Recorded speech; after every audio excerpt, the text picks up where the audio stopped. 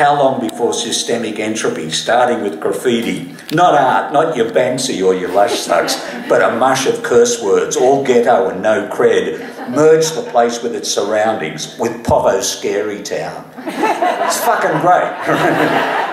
we left the game unfinished and went to a dining area with the ambience of a needle exchange.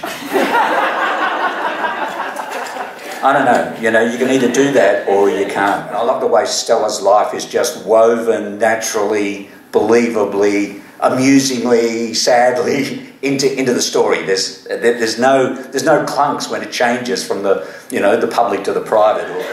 I, I guess the risk with this is that because it moves so fast and every single sentence and phrase just has this natural balance and poetry, this unfussed poetry that.